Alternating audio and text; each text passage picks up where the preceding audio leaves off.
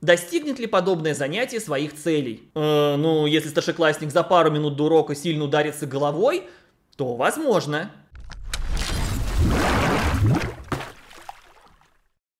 Привет, просветители! На прошлой неделе сразу же несколько популярных ютуберов выпустили ролики о новом уроке «Разговоры о важном». Блогеров и журналистов перечислять не буду, а то придется. Это сообщение создано, бла-бла-бла, иноагенты. Захотите, сами найдете. А лучше мой ролик на эту тему посмотрите. Для многих зрителей появление урока пропаганды, а именно так некоторые его окрестили, стало настоящим удивлением. Но если постоянно следить за инициативами Министерства просвещения, чем мы на этом канале и в моем телеграме и занимаемся, и лично моего фаворита господина Кравцова, все становится на свои места. Разговоры о важном именно в таком формате и должны были появиться. Дело в том, что уже достаточно давно чиновники из Министерства просвещения живут по заветам группы Виагра. И пусть моих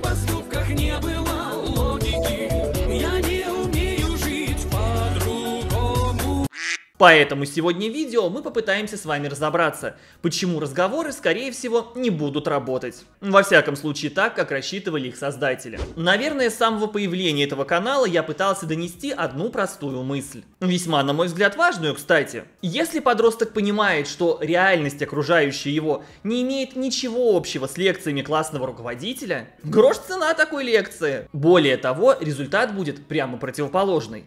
Когда ты осознаешь, что тебя обманывают и банально проезжают по ушам, ты начинаешь сомневаться во всей информации, которую этот человек пытается до тебя донести. И вот беда. Среди тем разговоров о важном есть те, по которым школьникам есть что сказать. Нет, я не про скоморохов. Я с этими скоморохами даже в ролик на НТВ попал. Кто такие скоморохи? Жизненный опыт диктует определенные вопросы на которые в методичках, увы, нет ответов, потому что эти ответы никого не порадуют. Рассматривается только одна сторона проблемы, или вообще никакая проблема не озвучивается. Какие такие проблемы? Не дается никакого альтернативного мнения и попросту игнорируется реальность. Давайте для примера возьмем занятие, которое должно пройти 26 сентября, День пожилого человека, и рассмотрим сценарий для 11-классников. Хотя, что 5 что 11 класс, авторы этих разработок призывают общаться со школьниками как с дошколятами. В каком случае правильный посыл, мы здесь не употребляем слово пропаганда, за этим на другие каналы. Нет.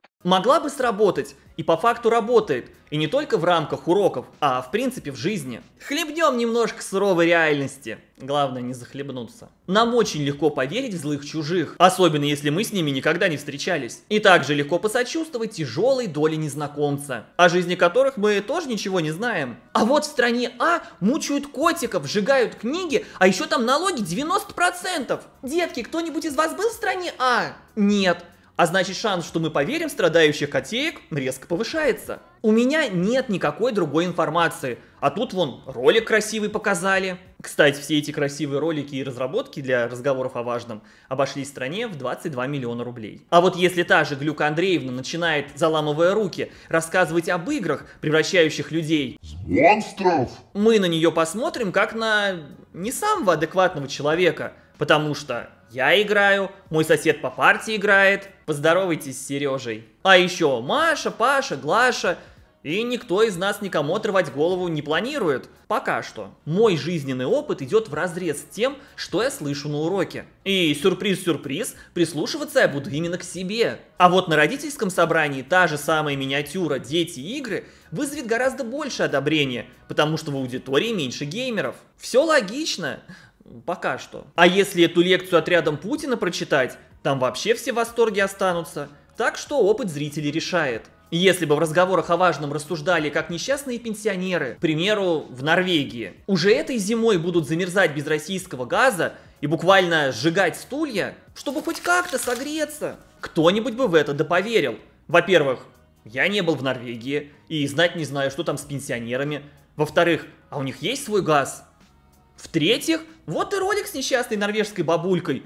Выглядит вполне реально. Но на разговорах обсуждать будут не норвежских бабулек, а российских пенсионеров. И все, что услышит старшеклассник, а то и студент колледжа, страна всеми силами поддерживает стариков. Как вы думаете, сколько раз на занятии прозвучит слово «пенсия»? Правильно, ноль. На серьезной беседе. С по факту уже взрослыми людьми. Через год они голосовать будут, а некоторые уже могут. С острыми вопросами и актуальными проблемами ни разу не вспомнят, как с финансовой точки зрения живут российские пенсионеры. Ни разу. Зато о тепле бабушкиных рук, добрых глазах дедушки, заботливом государстве. Последнее особенно важно. Говорить будут целый урок. И я сейчас не про руки и глаза, а про государство. И вот тут-то и наступает нежданчик для авторов этого розового киселя. Я, правда, не знаю, какую страну розовых пони назвать. Одиннадцатиклассники живут не в безвоздушном пространстве.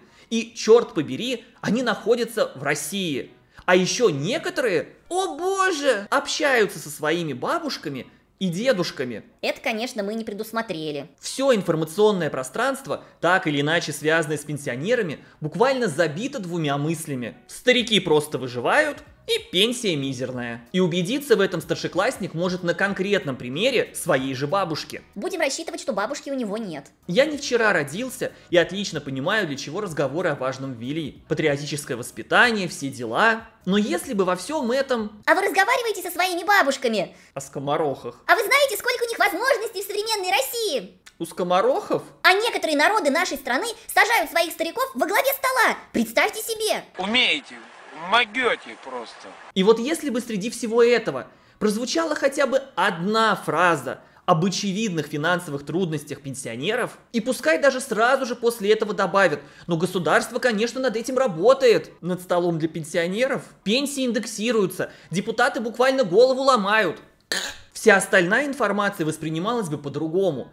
Она бы в разы больше доверия вызывала. Потому что, прочитав этот поток Елея, мне аж самому захотелось пенсионером в России стать. Ну потому что они настолько круто живут, такое количество перед ними распахнутых дверей, что я аж реально завидую. Лайк что ли поставьте, чтобы хоть немного этот огонь погасить.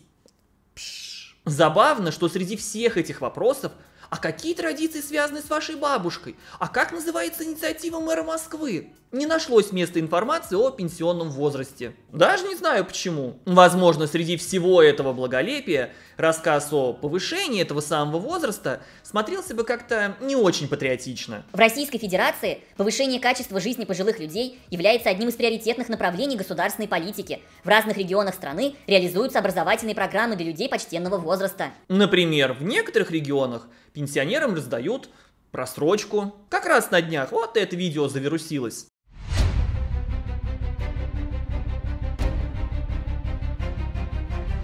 Благодаря поддержке государства, люди в зрелом возрасте имеют возможность наслаждаться полноценной жизнью, открыть в себе новые таланты и даже начать жизнь заново.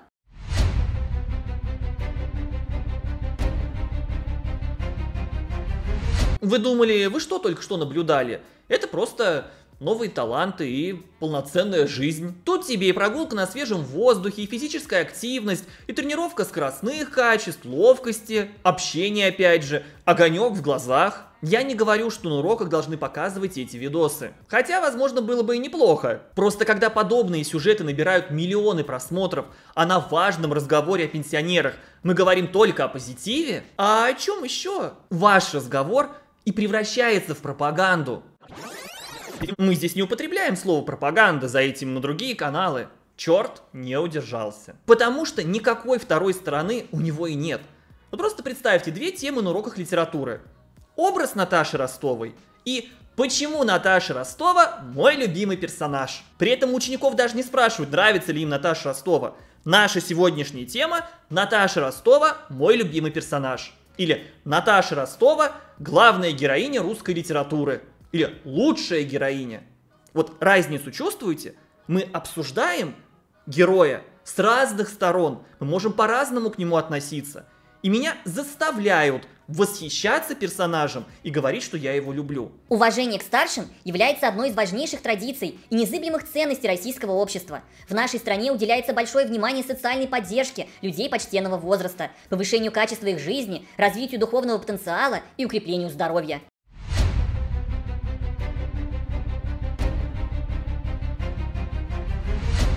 Это просто великолепно, что все выпускники нашей огромной страны должны слушать, как здорово живется московским пенсионерам. Некоторым. В столице нашей родины успешно развивается проект мэра Москвы для активных москвичей старшего поколения «Московское долголетие». Это крупнейший оздоровительный, образовательный и досуговый проект, включающий более 30 направлений активности для пожилых людей в каждом районе столицы и онлайн. Что сказано о других регионах нашей страны? Ничего. Хотя обманываю, в Татарстане вот предков уважают. Это же можно к социальным проектам отнести? Конечно же не может разговор о важном обойтись без рефлексии. Куда же без нее, родимой? Из услышанного мне больше всего понравилось. Полное отсутствие пенсий. Судя по тому, что мы сегодня обсуждали, их в России попросту не существует. Шутка-минутка.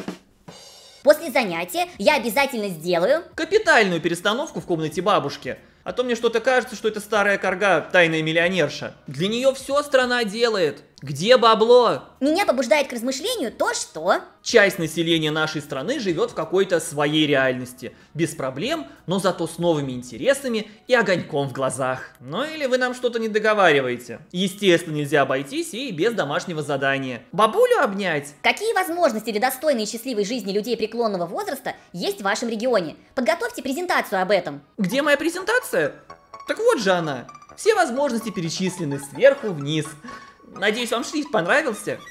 Достигнет ли подобное занятие своих целей? Э, ну, если старшеклассник за пару минут до урока сильно ударится головой, то возможно. В другом случае, если бы мне такую сказку дядюшки Римуса в 11 классе выкатили, мне было бы что сказать.